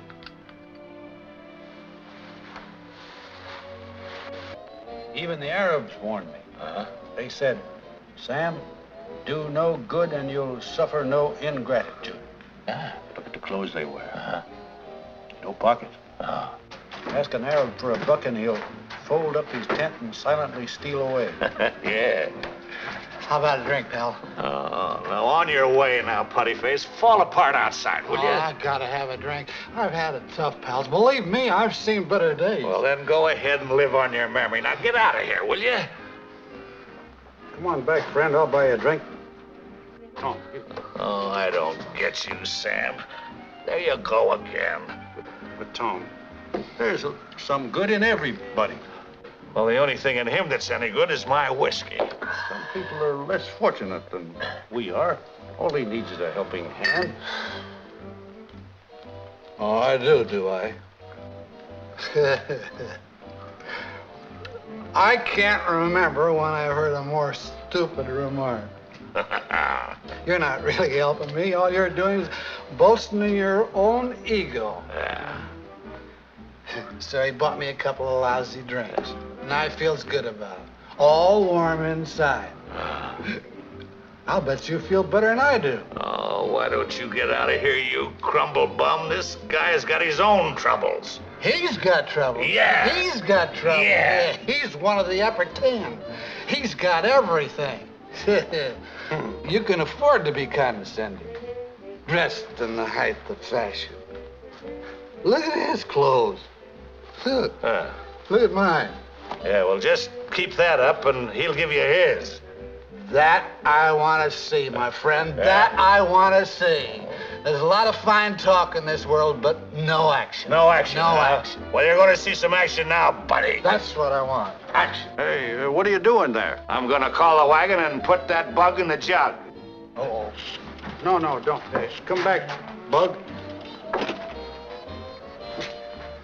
Why don't you go to bed and, and, and sleep it off? Now, there you go again. Sitting there bedecked in your royal raiments and laughing inwardly. For you know I have no home and no bed in which to rest my head. No. No? I didn't know that. That's right. Well, I'll get you one. All right. You want me to sleep well, don't you?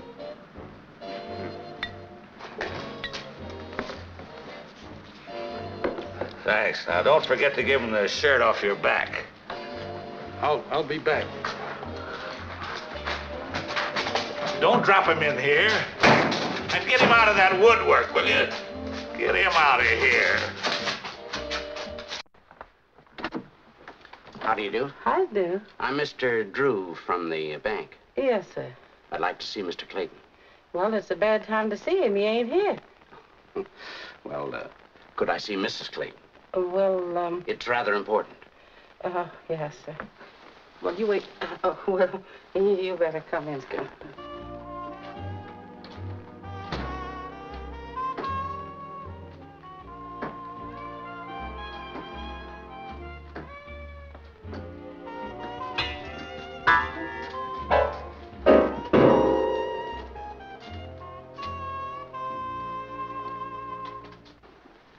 Feel that I'm directly responsible for what happened. I turned him down for a loan because he had no security. Then I got to thinking, what kind of a world is this?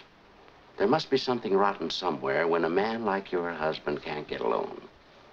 I'm not for revising the banking laws, but sometimes we should make an exception and take a good heart for security. So rest assured, this house is yours. Oh, what wonderful news. If only he were here. I made him feel that I wanted this more than anything else in the world. More than I wanted him. Tommy, Tommy, my boy. Some of my stuff. Hmm? You've had enough now, Sam. Go on home. What am I going to do with a guy like that? Look at him now. Come back here, will you? No. I want to be alone. Oh. Come I going to have trouble with you? Not if you leave me alone. Sam, you're too nice a guy. Who's a nice guy? You are. Why, you haven't got a mean streak in you. I haven't, huh?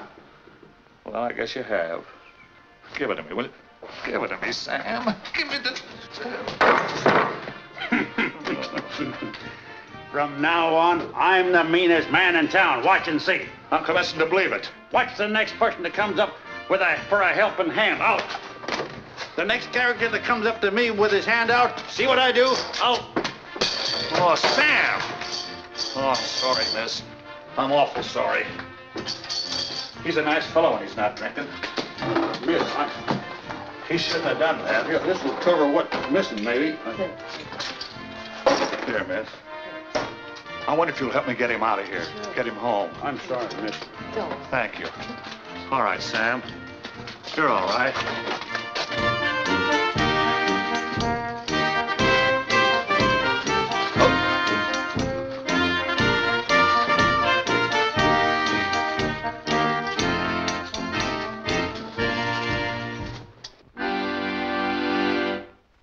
Mid pleasures and palaces, though we may roam, be it ever so humble, there's no place like home.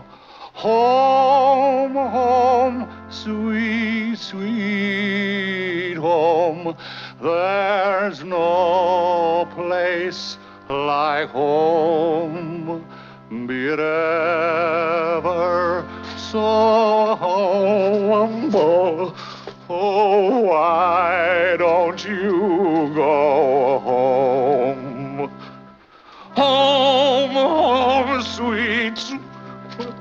find a bed for him.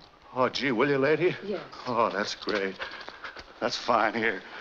Take this, and I hope it helps out. Thank you. You're welcome. Come on. Oh, wait a minute. He's tied off. Take it away.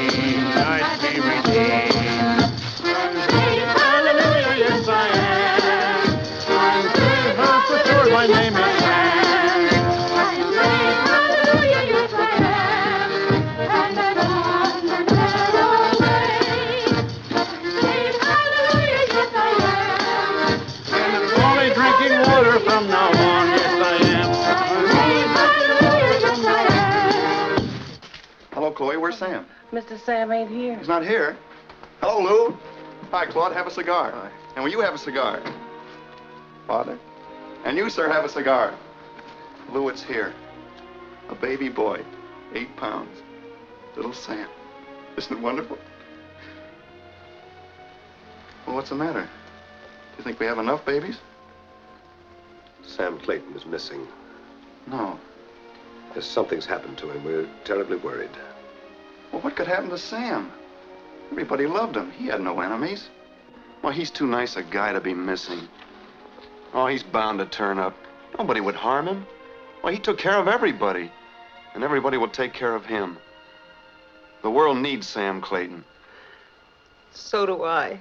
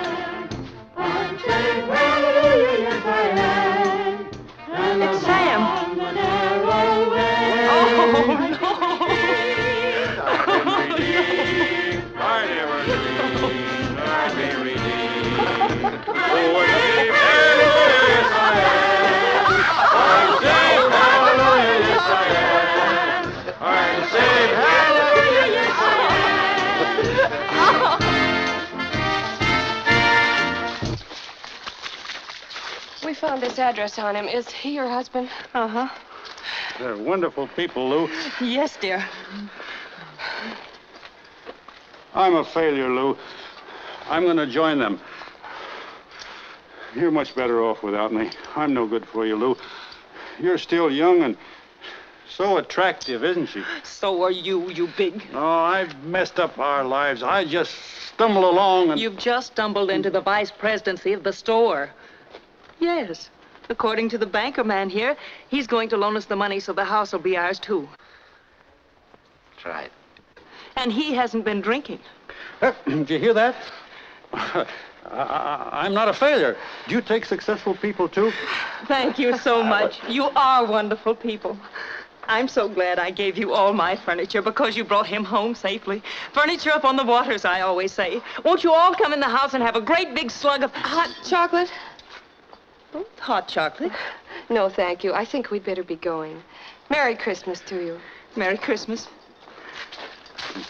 Hey, wait a minute. Just one more song, hmm? All right. What'll it be? I know. Let me call you sweetheart. I'm in love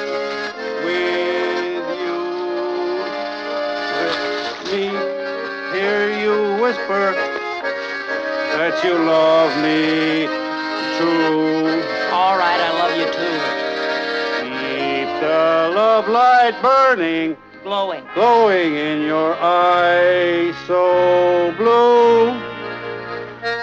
Let me call you sweetheart.